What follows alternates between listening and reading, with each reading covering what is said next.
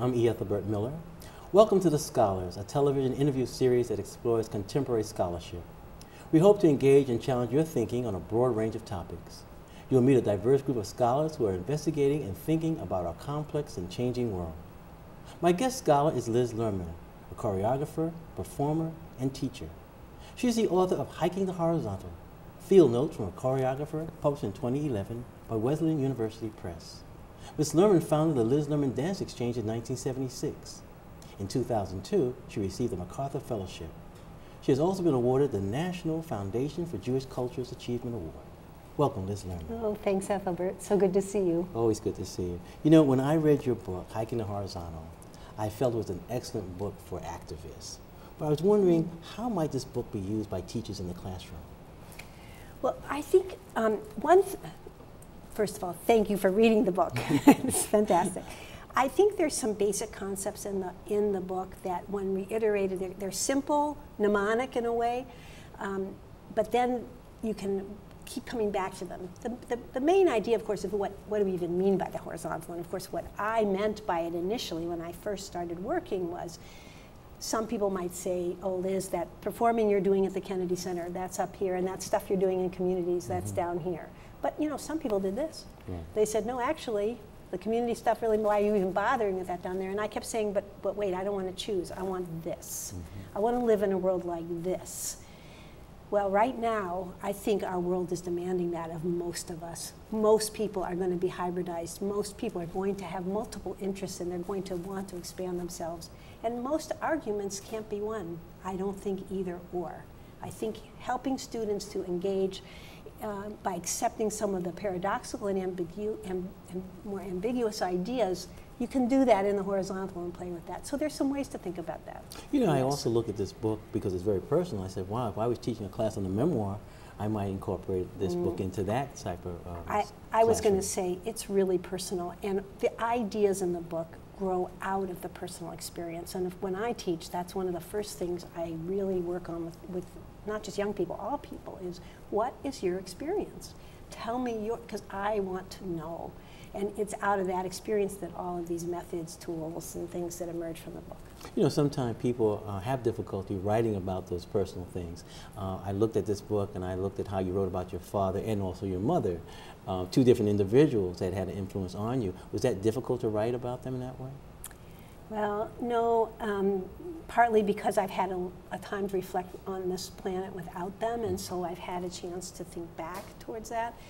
Um, although I will say, Ethelbert, I'm having a whole new sense of my father. I'm doing a new project. It involves um, what happens to soldiers when they come back from war. And I'm thinking about my childhood now. My dad came, you know, came back from World War II, then I was born, and you know, I think he had PTSD. I mean, I know that we don't talk about that right. with and so I guess when you ask about um, how is it to write about our parents, hopefully our relationship to the past keeps changing. Mm. Hopefully we get to rearrange, oh, maybe that's what was going on when he did that thing. Right. You know? You know, in your last section of your book, um, you provide the reader with a definition of choreography. Um, you write, choreography is a way of thinking, is a way of gathering evidence, laying out the pieces, organizing the trail. I wondered about that word evidence. Okay, could you talk more about the gathering of evidence and what is this evidence linked to? Yeah, that's a really great question. Thank you. Because I think a lot of times people think choreography is just the steps. The steps and the body and all that are sort of reflections, just like the writing is a reflection of an experience. So for me, the evidence could be data of all kind, like what happened between me and my dad. Or just today, I taught a class at a university it's today as if it's 9/11. So I asked uh, these students, where where were they on 9/11 in 2001? Well, they were all in first grade, mm. kindergarten, and we began to collect the evidence. And it was an alphabet carpet, carpet that they lay down on the floor. It was their mother's hand picking them up. It was the teacher trying to stay calm. We gathered the evidence. And then we turned all of that into a dance, which they then manipulated. So the evidence is research. You know, when you say that, I know, for example, in certain communities, one wants to ignore the evidence or deny the evidence. I'm thinking, like, for example, Japanese families with the internment, uh, because it's very painful. I mean, we're also looking at various uh, immigrants who've come here who might have been tortured. So all of a sudden, the evidence is there, but they don't want to claim it. This is where movement is so spectacular because, you know, on one level, you can talk about the feeling, but sometimes you don't have to go for the feeling, which is maybe what people are trying to do this to. We might go, and in this sense, it's not unlike a writer, we might go for the detail. It might be, um, well, what was the kind of shirt your father liked to wear, this father that you may have lost in this internment? And right away they'll go something like, oh, well, he used to like to wear straight shirts and, you know, he, he liked bow ties. And suddenly their hands are moving through this kind of memory of that detail. I'm happy to take the detail. Mm-hmm. I think that's where some of the most deep things lie, and I often feel people can handle different ways of getting at that story. Right now, in this project with the, uh, about what happens when soldiers come home, I'm, I'm thinking that it's curious to me how we've been showing it in works in progress, how the public is responding to it, and there's kind of a deep enthusiasm mm-hmm. after we show a little bit of it, and I can't figure it out because it's sad, it's hard, it's difficult. And I finally think it's that people are so, they take a lot of time not thinking about things. And sometimes when you release that for people mm-hmm. and you let that come in, actually, it's a relief. So you build an environment where it's okay for a whole variety of things to emerge. That, of course, is one of the key things about art making is that if we're going to say we accept it all, we have to mean it. Right. We have to mean that if the child decides to tell us that, that is what we have to hear. Mm-hmm. You write, um, you wrote at some time in our lives uh, we were very physical, mm-hmm. and I was wondering how has our lives changed? And, and mm-hmm. with so much trauma in the world, maybe some people want to be divorced from their bodies. Yeah. Oh, I had a very strange experience with the TSA recently. I typically go through the, you know, I travel a lot, Ethelbert, so I'm used to the whole deal. And I have wear this little plastic clip, and it always is caught by the machine. So I'm used to standing there and having a tap. But I was in line, and there was a group in front of me. They spoke a foreign language. I have a feeling that that disrupted the, the person. But I got to the end. She did this, but then she did more. She lunged at me, and she began to do what would be the equivalent, like a, a, a very um, direct pat down. And I said in a really loud voice, You cannot do that to me. Mm. I, I mean, I just said it so fast. Well, you can imagine, you know, what happens in the TSA if you even bleep a little bit. Mm. Everybody, like, there's a swarm of people around you. I started to cry. I said, You take me to a private room. You know, they did. Everything was fine. But I reflected later on the sense I had of my body with authority gone awry. And it wasn't a big deal. It wasn't a rape. It wasn't a molestation. It wasn't a death. It was a pat down. Well, let me explain yeah. something I maybe connected to the experience I had. I was in the L'Enfant Plaza. It was crowded, and uh, I put my hand out to sort of like catch someone. And the brother said, uh, "Don't put your hand on me." And, and I realized, I said, you know, maybe this guy might have been incarcerated. You know, where where all of a sudden, you know, you just can't come out here and touch someone. And then I said, wow, I mean, you know, we have a lot of people coming out of prisons, you know, who might have to relearn how to be intimate, how to have another man touch them without any sort of threat. And I was wondering, how do you deal with that as a dancer and a choreographer? Well, I think that's just a major. And part of it is, and here's where, you know, I'm, I think of myself as an iconoclast, a rule breaker, but actually, I'm a rule maker. I set up a lot of rules. For example, I said, I went back to the lady at the TSA who did that, and I said, in the future, just ask permission. It will be fine if you say, I, or even, not may I touch your body, I'm going to touch you right here. Mm-hmm. That will help. So I think that there are means by which, in collaboration with people, I mean, I wouldn't assert it myself, I would do it in collaboration. Um, working with people who may have been traumatized or have had trouble. You know, when we used to, I used to do a lot of work in the schools, and uh, there was a period when the dance company ranged in age from 20 into their 70s and 80s, and I had these older guys we went into this school once and we were doing a thing where you take your body over and we, you, you work in pairs and you touch the spine. This child, well, it was a, it was a high school student, um, was paired with one of the older men. And afterwards came up to the man crying and said, I've been abused. I've never let somebody touch me, but th this felt okay. Mm -hmm Thank you. And again, I think it's the rules, the, the ritual, the taking turns, all that stuff that is the combination of the body and art. Mm. A dancing tra training is, is complex and very time consuming. How much of the learning is research? How important is it for a young person to know the history of dance and how it performs in various cultures? Oh, well, if I had my way. you can.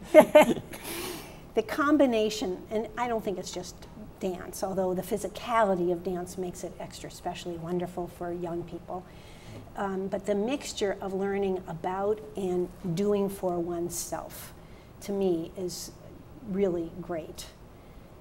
And when you add the fact that dance, ritual, art has been a part of every culture, the possibility of learning about each other through these forms is really quite mm. astonishing. Um, of course, we haven't done the best job of it. I'm even thinking now, and this isn't, uh, this isn't at the sort of community level, it's at the professional level. When people like Jawole Zollar and Urban Bush Women uh, came into the contemporary scene, our poor dance critics were a mess because their idea of great dance included uh, individuality, solos, people who could do these amazing things separate from the group. And here comes a group coming along, and yes, there were great solos, but it was really about the ensemble. And they had to rearrange their thinking about what made something great. You mentioned some interesting dance critics. I was wondering in terms of what we see happening in some of the other art forms. There's a certain development that one should have in terms of becoming, say, a dance critic. And if I go back and look at how sometimes how we look at what the shortage of our education in terms of things we don't learn mm. sometimes in terms of art appreciation, but how would one become a good dance critic? Well, of course, I would. Here I go again, ruling the world. I would start with the critical response process, which is a system of giving feedback that I developed a long time ago, in part because I wanted to engage in a, in a dual purpose, a, a sort of conversation. I think one issue, well, let's think about what's the role of the critic. If the role of the critic is to, say, connect your poems with the wider universe, they may well be able to have certain background and know you and be able to reflect that way, and we may want that. But if their idea is to use your poem in order to assert their notion of the world and they misuse your poem, I'm less happy about that. Mm -hmm. I'd rather them entertain a conversation with you and find out where they are on that, and I feel strongly about that. Now, I love watching young people watch and be critics. I think young people are excellent critics. Mm. For one thing, they typically will say something good first. They, they just inherently know, hey, like that part, or yeah, man, that, you know, that was something, whatever though. And then, you know, they, they, they're pretty clear about it. It's too long. Mm.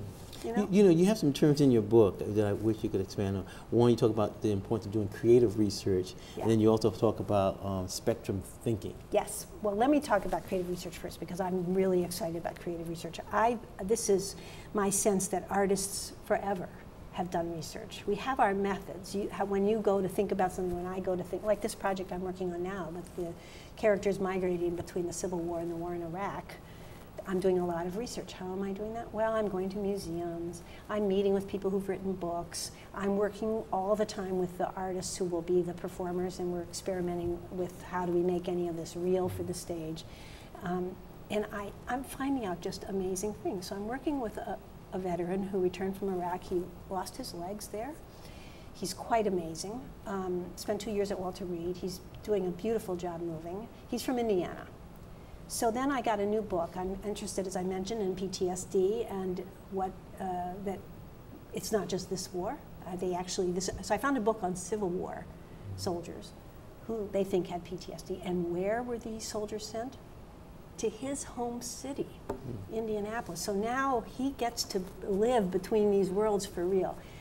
That kind of sync, what he, you know, amazing surprises. I, I just I love that. But I think we have ways of researching that the academic world could pay attention to. And one of them is the use of the personal. And what about the spectrum thinking? Well, spectrum thinking, to me, is simply saying there's more than one idea here, and before I say mine's better than yours, I lay it sideways and I say, what, what, what's the possi- what are the possibilities mm. here? I've come to think that although I use that term spectrum thinking, mm. I'm actually I'm more intrigued at the moment with how we create divisions within that, and how porous are they. That's kind of what I've been thinking about. You know, I, I- you made reference to the Civil War. Uh, I was reading in the GW magazine, George Washington University magazine, uh, about your National Civil War project, um, and you had a company, I think, focusing on healing healing wars. You did a performance. Talk Mhm. about that, how that came into being. Well, this is this project that I'm working on that will eventually premiere in, a, in, the in the Arena Stage, our, our regional theater company. But the whole project is four universities and four regional theater companies com, uh, commissioning some 15 to 20 artists, including Nikky Finney working with Kronos. Um, uh, Sweet Honey's doing a project. There's all kinds of things happening. My particular project is this question about what ha- why does medicine innovate during wartime? What is happening to the healers? Um, what does healing even mean in the context of war? And it really was these amputations that got me interested in the combining Hmm. the two wars because, of course, in the Civil War you see so much of that. And then thinking about our, our, our people coming home now. So um, I think one thing, though, that maybe is of interest for, for scholars to think about is how much of our process do we make open to the public and at what point? Like I know a lot of artists and a lot of scholars, maybe it's that finished product and all getting up to it's kind of secret. And kind of, I'm, I, I, don't, um, I don't like that. I like opening my process every single chance I get. Partly living in imperfection, and I know that's hard and I know that's challenging, but I think if if uh, educational environments can hold open the possibility that bad ideas lead to better ones, that in fact we can work together and see how to make it better. And in fact, if you come, Ethelbert, and you see a piece before it's finished, your presence is going to help me make the thing better. I really believe that. I want to take you back to 1976. Uh, you, you founded the Dance Exchange. You called it a think tank and an action lab. Why? Yeah. Maybe it's living between worlds, and maybe this is where spectrum thinking is. I think a lot of people think that um, dance is purely physical, and you can't possibly have a brain. and a lot of people think scholars have all brain, and they can't possibly have a, a physical knowledge. And uh, it just doesn't seem true to me. And it just, um, we do so much thinking. Some of the thinking emerges out of our experience, and some of it makes the experience happen. I wanted people to understand that. But the action lab part is really about art and community. And maybe there, in the, especially in the mid 70s, what I was trying to do is I felt that the way we classified art and the way art got practiced, particularly in the white world, but you know, I, I, in the West, was pretty narrow, pretty narrow, and um, it didn't make sense to me. Like my five years of being an artist in residence at Children's Hospital, I learned so much, and I don't want to call it dance therapy. I think of it as art. I mm. think of it as action.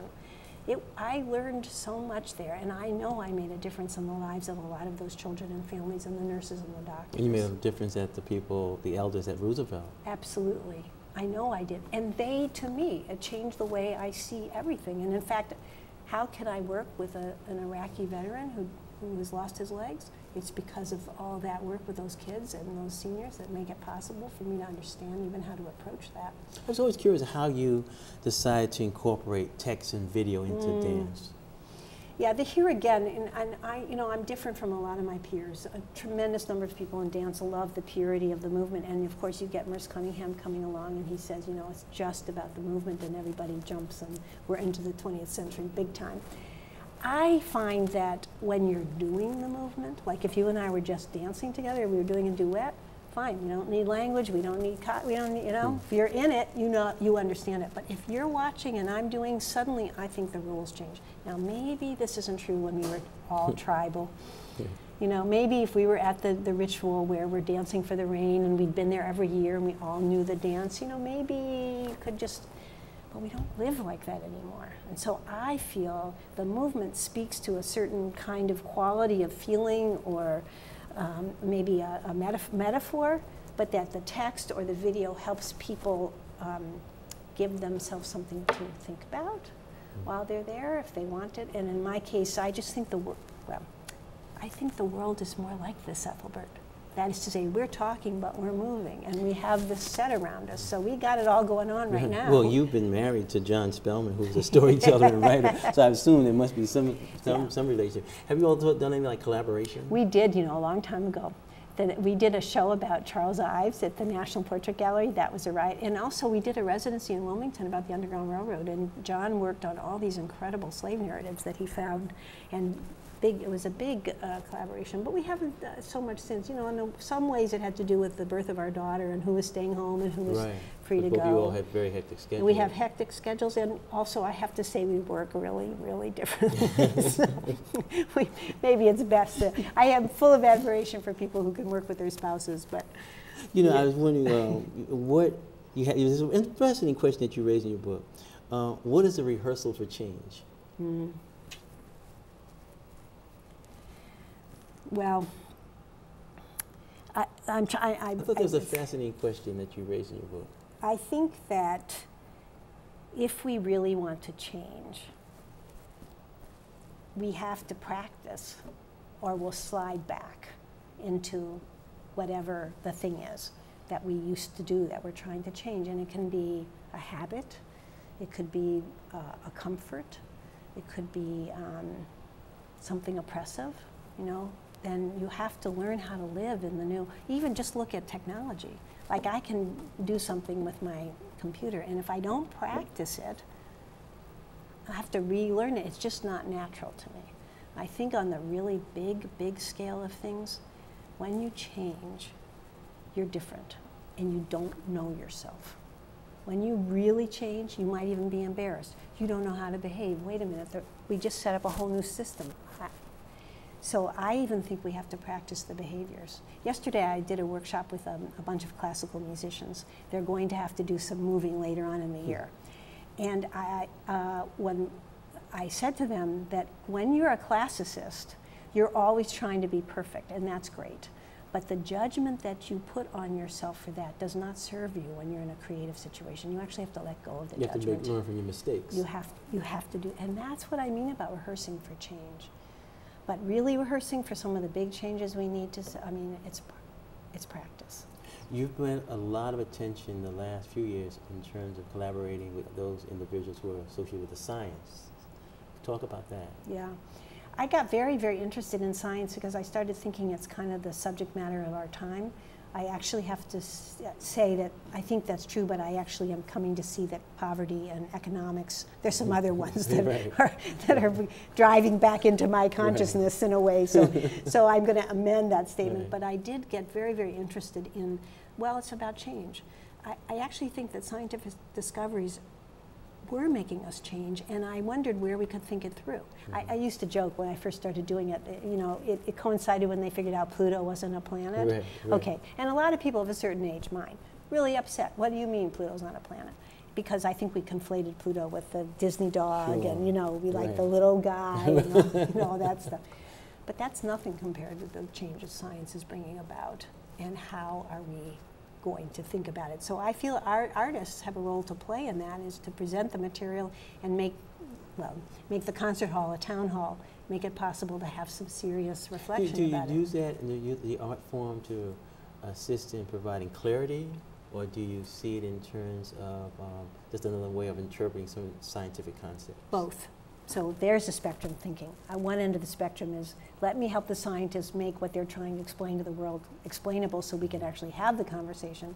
And way over here is new knowledge that's emerging because the scientists and artists are spending time together. And there's all this great stuff in between. It seems like you were really looking at physics and, and I did. I, I worked at physics and the- and, gene- and genetics. And in fact, this new piece that I'm doing, I thought was about medicine. That's what took me into working with the soldiers. But it initially was about medicine and about neuroscience because they're doing all that neuroscience with, uh, again, around PTSD. Could you see Yeah. yourself moving in this direction, like say years ago? Could I have seen this Yeah. uh, evolving? Um, no, not really. Although I've always been curious about science, I was surprised. It turned out, actually, Ethelbert, though, this will sound crazy, not unlike some of the work I'm doing in the Jewish community, that spending time in the scientific community and spending time with the, in the Jewish community forced me to look at community-based practices that are mm, like I started saying, it's not just for the underserved, it's for the over professionalized as well. Because these communities need art too, but you don't think of them as at risk, scientific community or the. Well, let's you know, look at but- this but it because is. you were affected by a book. You were affected by The Quest for Community by Robin Nisbet. Yes. So talk about that book. That book sort of shaped your ideas. It, um, the book gave voice to the ideas that I was having because I think the, the ideas probably emerged earlier through my father and his civil rights work and his labor organizing, and um, his absolute insistence that you know we we look at social conditions around us.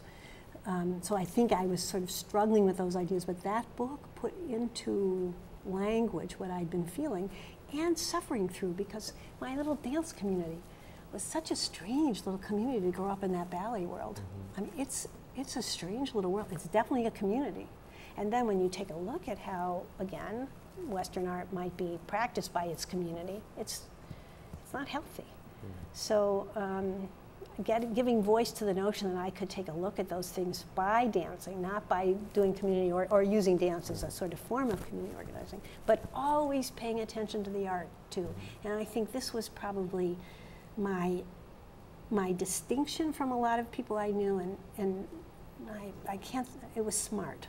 The same with my closest peers, which is to insist that working in communities and developing these organizing strategies, they're not that different from rehearsals, and making sure that I'm still making my work. You know, when we look at dance, when we look at ritual, I was wondering how much does faith Mm. come into your work, into your life? I mean, you know, you grow up in terms of the Jewish faith. How much does that affect who you are in terms of what you create? I think in my case, it's less about faith as in faith in, um, say, God, which is not a concept I do so well with, but um, I, I believe that people seeking the way people seek faith is not unlike the scientists seeking their truth, and not unlike the artist seeking that sort of creative um, moment of understanding. I actually think those paths, the creative path, the scientific path, and the faith path, are not that different. They have different practices and different, but that drive, the drive. I um, there's a character in this new piece based on a spirit. So my stepmother, before she married my dad, she's a nun. She was trained in Emmitsburg.